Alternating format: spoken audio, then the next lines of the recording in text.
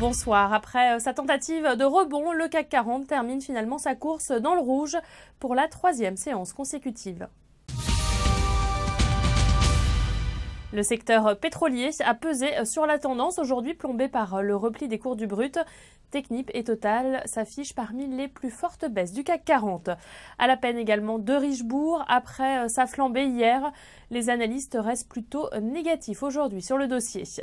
Alcatel-Lucent tenait cet après-midi son assemblée générale et le PDG du groupe a défendu le bien fondé de sa stratégie de rapprochement avec Nokia.